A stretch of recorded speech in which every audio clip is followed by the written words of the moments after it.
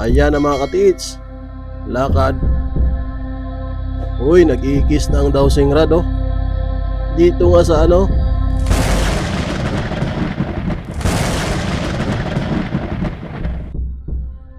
Nakakuha ng deposito gamit ang dowsing rod. Ito na mga madam at mga sir. Umpisahan na natin kung paano ba nila nakuha ang mababaw na deposito sa isang lugar. At dito muna tayo sa umpisa kung saan umakyat sila sa bundok or may pinuntahan silang masukal na lugar. Ibig sabihin, may daanan at maraming mga kahoy. Bundok ito mga katiits.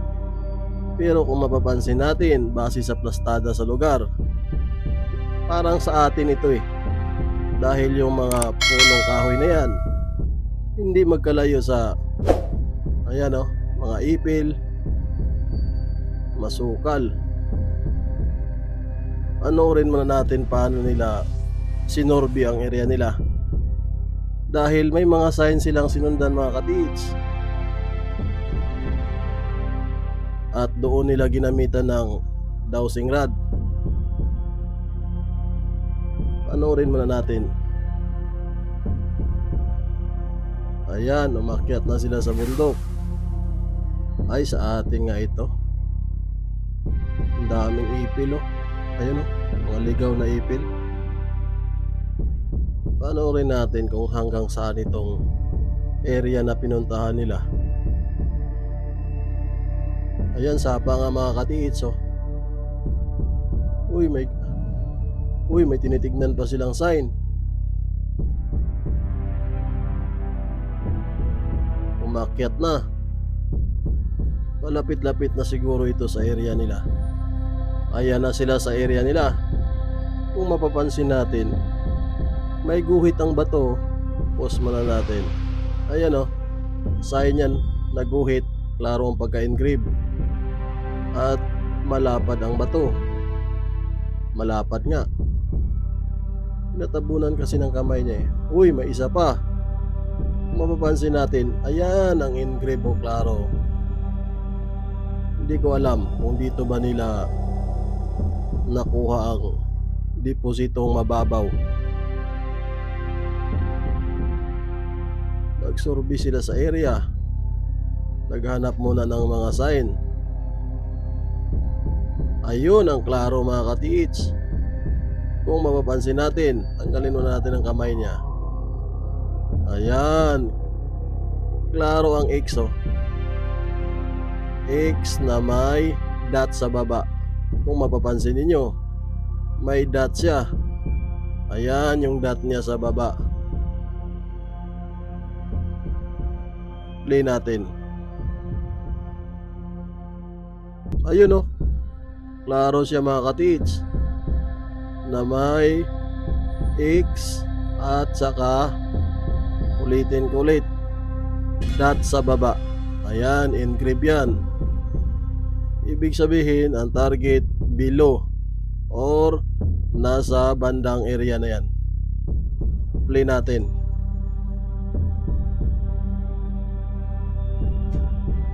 masukal na parang nasa taas na sila ng bundok eh pag ganito ang plastada Paakyat yun kanina.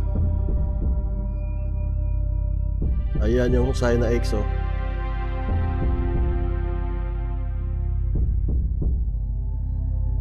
Daming ano. Ibang sign ba ito o isa lang?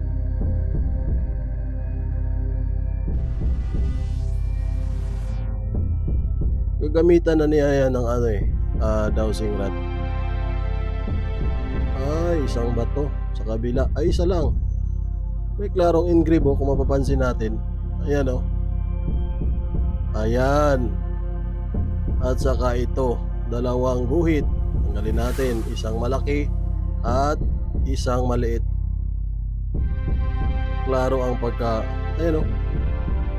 Tapyas, tawag niya dyan. May dot pa.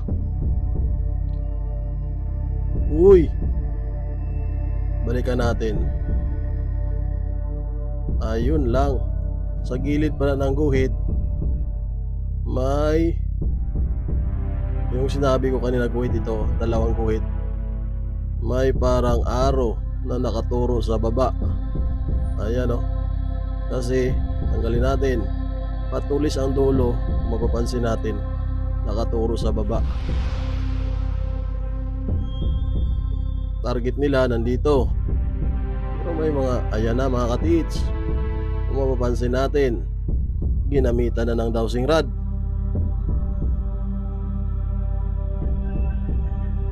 Ayan na, nag-iikis na yung dowsing rod mga katits. Atras yan.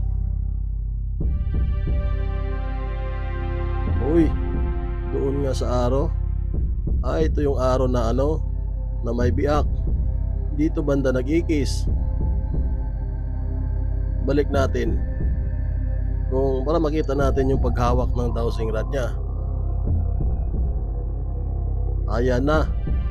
Nagturo na ang dowsing rod sa kabilang side.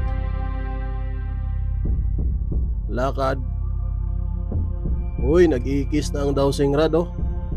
Dito nga sa ano, yung sinabi ko kanina. Ayan, nag-iikis oh. Sa tapat ng ano. Yan. Yung may sinabi akong araw kanina naka-point down, tinuro na niya dito banda sa baba oh. Ayan, ang target nila. Ngayon, bibirahin na nila yan.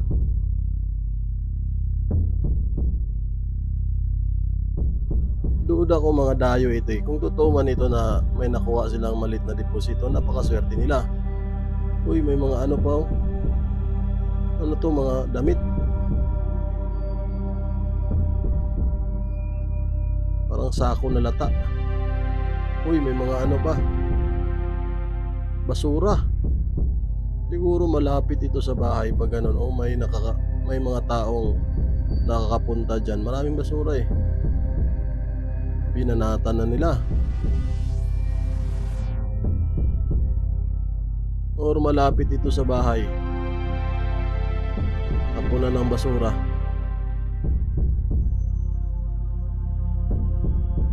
Ayan, mababaw lang ang pagkakuha nila nito mga katits gamit ang dowsing rod. Panoorin natin.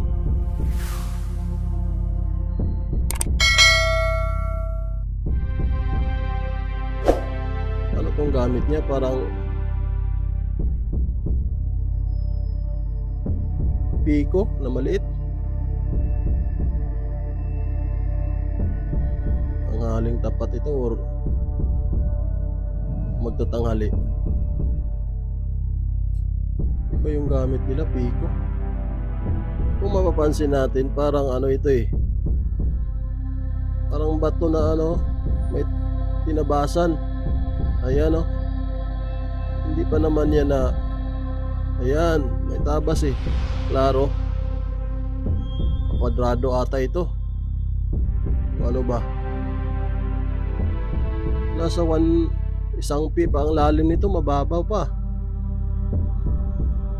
Ah, style maso na double purpose ang ginamit niya.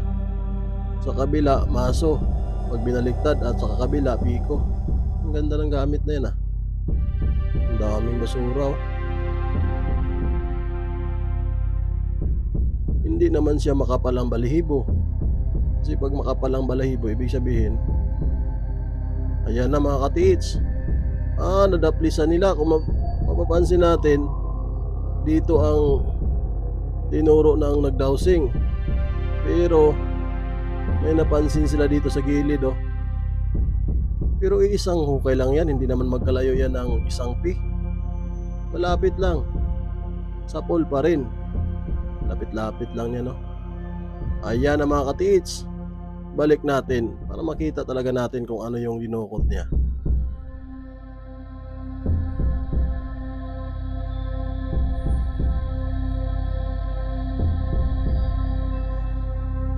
Ayan.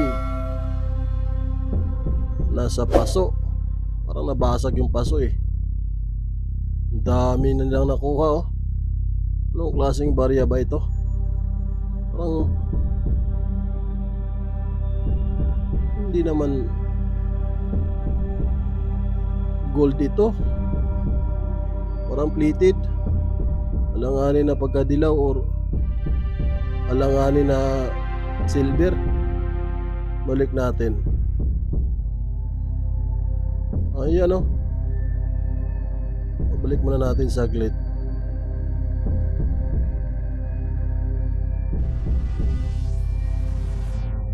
Mababaw lang, wala pa isang pi.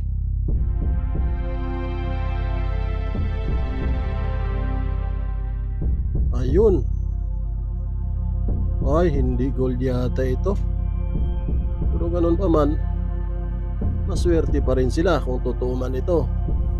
At kayo na maghusga mga katiits kung ito ba ay totoo. Okay, sa pagkatapos dito sa simple content natin. Ayan, nakakuha ng deposito gamit ang dowsing rod. Ulitin ko ulit, maraming salamat sa panonood mga katiits. And thank you. Wala muna tayo ngayon lecture and guide dahil alam niyo naman, araw pa ng mga patay. Baka sunod na araw, ibabalik na natin ulit ang pagle-lecture and guide. Maraming salamat ulit and God bless sa inyong lahat.